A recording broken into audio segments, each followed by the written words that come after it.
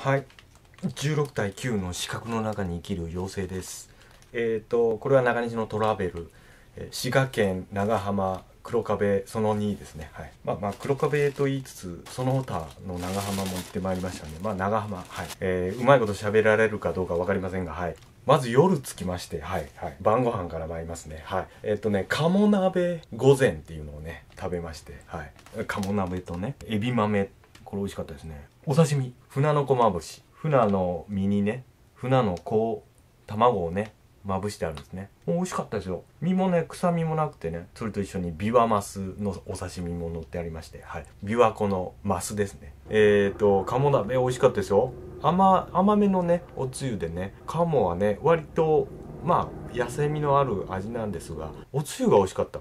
本当にあの鴨の旨味がこう出たおつゆがすごく美味しかったですよ。うん、次次行きましょうか。あ次の日はねえっ、ー、と、朝、長浜城行きましたね。長浜城。前回行けなかった長浜城。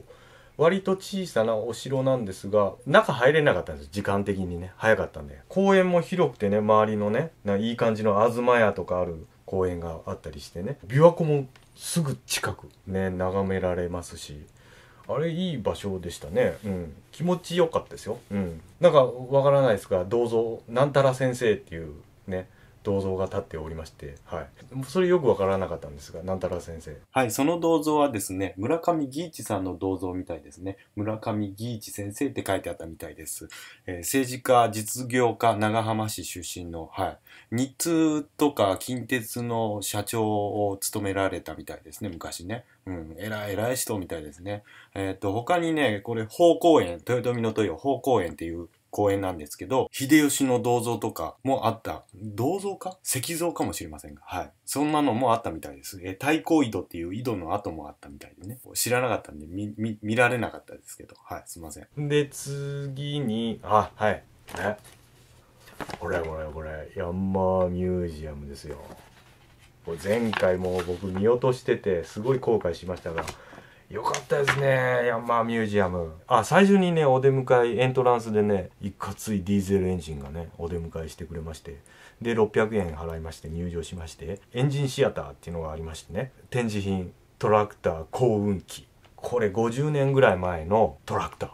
と幸運機もね古い幸運機がありましてねこれテンション上がりましたねかっこよかった俺これかっこよかったんでふとね後ろを振り返りますとデーンとね最新式なのか？最新式でしょうね。僕持ってますよ。あのねトミカで持ってますよ。YT YT5113 かな？ねものすごいでかかった。あらはねまた興奮しましてね。うん。あのね案内人の人がねすごく説明してくれるんです。おじいさんなんですけど優しくね。ねすごいね笑顔でね。ヤンマーのおじいさんよかった。聞きましたところその最新型のトラクターはねあれ1000万するんですって。ね。よかったかとにかくかっこよかった。なんかねコックピットもすごかったですよ。ねもうなんかいろいろ取り囲まれててなんかスイッチとかなんかエアコンも完備されてるんですよ。あのトラクターのコックピット。はい。トラクターなんつったらそんなねエアコンなんてどこ吹く風みたいなねもう野ざらしじゃないですか。普通はね。それがもうねしっかり囲われてね取り囲まれてもうなんかもう踏む踏むやつもなんかいっぱいありましたよ。もう押すやつも何十個もありましたよ。すいませんなんか言葉がねべしゃりがすいません。はい。もう車輪もバカでかいですしね。もうここぐらいまであったかな。後輪がね。後輪後輪がここぐらいまでありまありましたよ、うん、でしかもえ何種類だったっけ？十何種類だったかなね、前やら後ろやらになんかオプションでつけてね、できる作業がね、もうな、十何種類かあるんですよ。ちょっと見ようか。うん。あ、あ、忘れてた。すいません。長浜城行く前にね、朝食ね、食べたんです。これ見ながらやったらよかった。はい。順番が、すいません。えっ、ー、とね、歩きながら食べたんですが、割と老舗っぽいパン屋さんのね、山椒の効いたベーコンのパン。これ面白かったんですよ。あのね「すいません」ってもうすごい静かだったんです。で奥でおじさんがね作業してらっしゃってあのレジ行って「すいません」ってこうよ呼びかけたら「はい」って言って動かないんですよ。出てこないんですよ。職務放棄かなと。なんか僕気分害することしたかなと思ってたらしばらくしてからもうなんかはって出てきたんじゃないかって思えるほどもう低い位置からね腰の曲がったおばあさんがすっごいゆっくり出ていらっしゃいまして。ああそういうことか。あのそのおじさんの多分お母さんがねそのおばあさんお母さんがねレジをやってくださるんだろうなと思いまして、はい、ものすごいもうもうねもうほんとね這い出てきたかのようなね。おばあさんの腰の曲がり具合がねすごく良かったというとあれですが 心がほっこりしましたね。あの本当カリッとしてね表面ね。中ふわっとしてね。美味しかったですよこのパン。はい。パンの次はねあ報国神社だあの秀吉が祀られてるいるんでしょうね。報国神社。うん。ヘリがうるさい。で次はね竹中半兵衛の歌碑歌の日ですね。あで歌碑を見た後長浜駅の方行きましてああのね大学時代の先輩と待ち合わせておりましてはい。あ違うわ。それまだ先輩まだ来てないわ。あの歌碑見た後に長浜駅これいい感じのねななんか駅名のねプレートがありましてガラスの街ならではのねステンドグラスのような、はい、でねスーパー。駅のすぐ横にねスーパーがありまして鶴屋っていうね前回あの丸い食パン専門店って言ってたじゃないですか。が鶴屋さんなんですね。それ丸い食パン専門店あのサンドイッチは最近の動きみたいですけど昔からあるパンとしてこのサラダパン湖北地方のね民にね愛されているサラダパンっていうのがねスーパーで見つけてね中にねマーガリンとマヨネーズで和えたたくあん。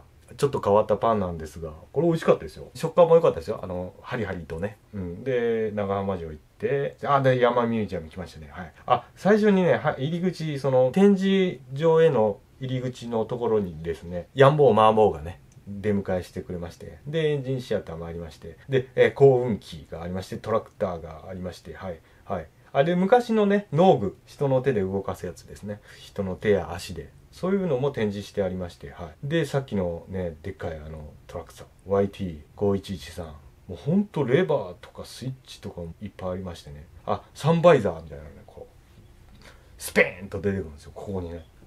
日よけ日よけっていうかサングラスみたいなああいう感じのね。スペーンってこうスペーンまあ手動ですけどね。出せまして、はい、タイヤがでかい。タイヤこの辺って言いましたけど言い過ぎでした。このこの辺でした。はい。持ち上げるっていうのもできるんですね。これすごいな。ビニールを貼るとかね。飼料を収穫する。そういうね部品なあのオプションのそのケツにつけるやつとかも含めるともうえらい金額になるみたいですよ。1000万どころじゃない。で次コンバインありましてこれもねすごかった。でかかった。存在感ありましたね。で最新式の最新式なのか。まあ今の幸運機もありまして、はい、田植え機もありましたよ。納機以外にもね重機か。展示してありまして。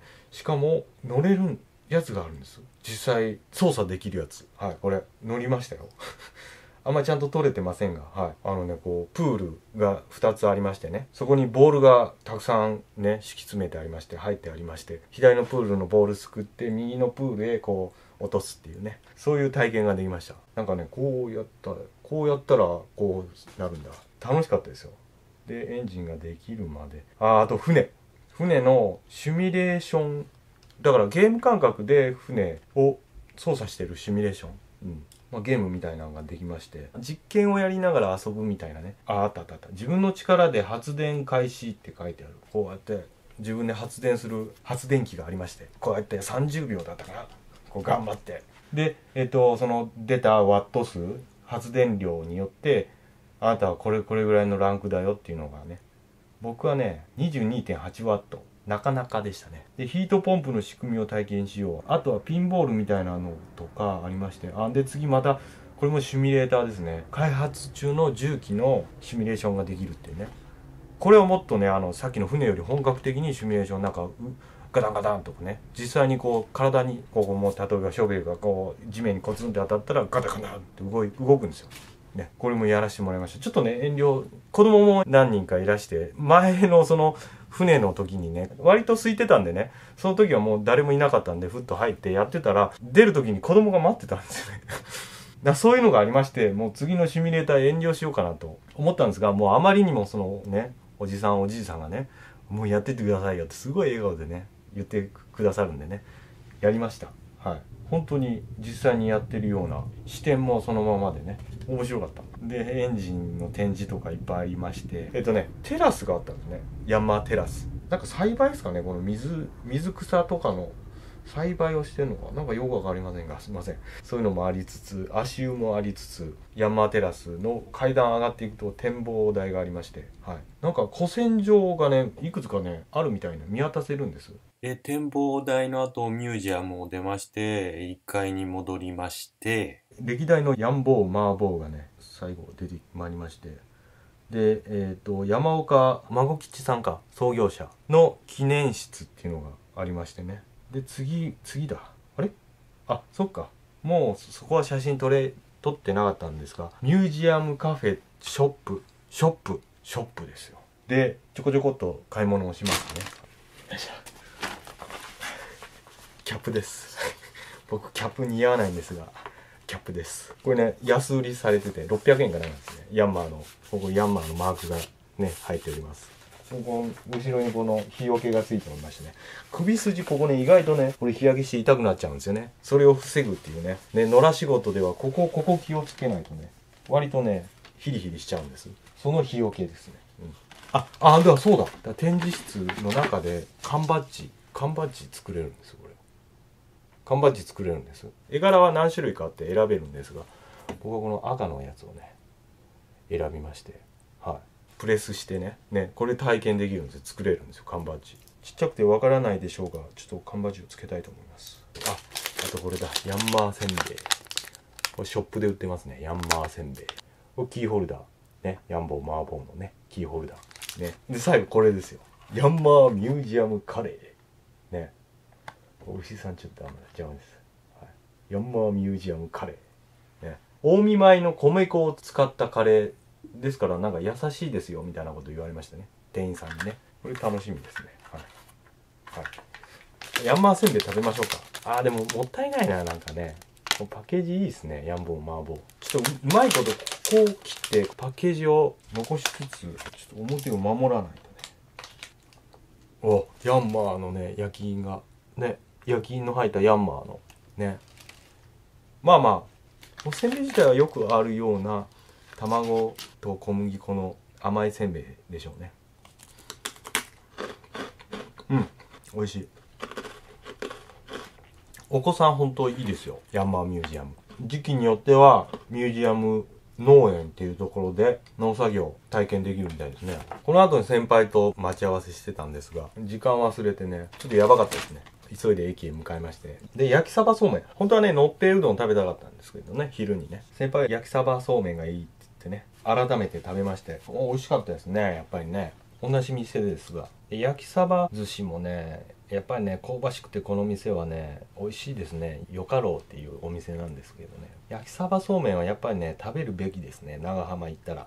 焼きサバ寿司もこのよかろうさんの焼きサバ寿司はすごく美味しいです、はい、あの先輩もね僕もね焼きサバ寿司普通のサバ寿司は好きなんですが焼きサバ寿司はあまりつかなかった。つかない。否定派だったんですがここのはね先輩最初嫌がってたんですけど食べているうちにおお美味しいなっつってね。よくある焼きサバ寿司とは違うすごく香ばしいね。サバがすごくいいですね。で次は海洋堂さんね。ガチャガチャだけ僕やらせてもらいましてね。まあ前回と似たような京都のねあれとかね。まあ他にもまあまあまああ7個ぐらいねあれしました。はい。ヘリが来たまだ。撮ろうか。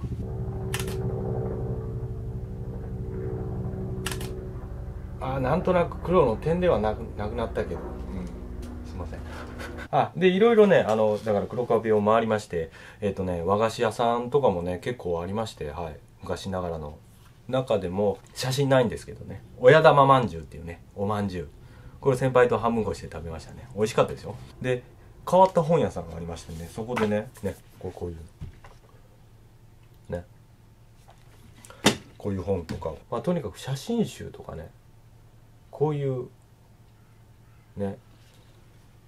広告マッチラベル集ですねこれね。ね面白かったですよ。その本屋さん。はい。名前忘れましたけどね。はい。あとのっぺうどん。のっぺうどん食べました。はい。最後に。のっぺうどんね美味しかったですよ。うん。やっぱりお店で食べたらすごいねとろみのあるね。しっかりしてましたねとろみおつゆがね。しいたけがものすごいでかいしいたけでね。乗ってましてね。美味しかったですよこれ。のっぺうどん。のっぺうどん美味しいですね。で最後にねまたスーパー寄ったんですけど旅行行ったらね地元のスーパーね行くの楽しいですよ。地元ならではのね特にその惣菜とかお弁当とかのコーナーがね面白いですね。面白かったのが湖北の味サバそうめん焼きサバそうめんですね。がもう置いてあるんですね。お弁当のコーナーに。これ伸びないか心配なんですけど。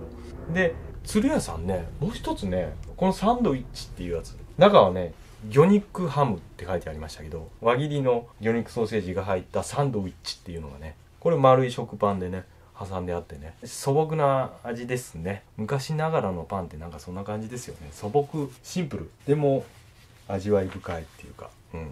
これも美味しかったですよ。これは持って帰ってきて次の日の昼食で食べたのかな。いや本当にね長浜いいです。はい。いやー2回行っちゃいましたね。その2回とも濃密な観光ができました。ガラスもいいですよ本当。あの吹きガラス体験本当はしたかったんですが。うん。はい。ちことで。はい。すいません。なんかまとまらない感じで。バチャバチャじゃまあじゃあ。はい。あヘリ来た。ヘリ